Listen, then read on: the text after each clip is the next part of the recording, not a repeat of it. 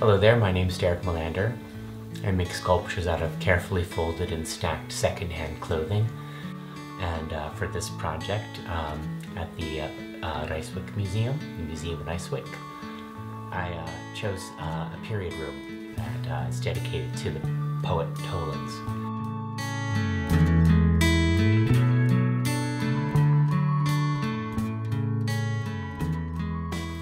And uh, and so I, I bring him and I bring his his life into my own work and incorporate uh, the furniture from the room and uh, uh, the antiquities like this.